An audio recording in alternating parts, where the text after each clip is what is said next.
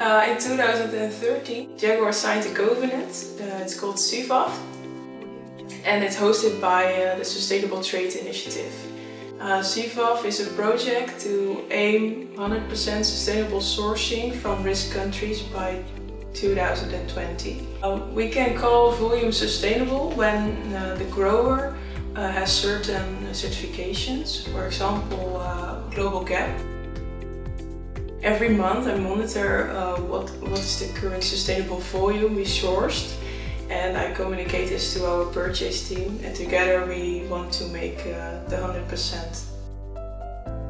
The last years we achieve around 50% sustainable sourcing.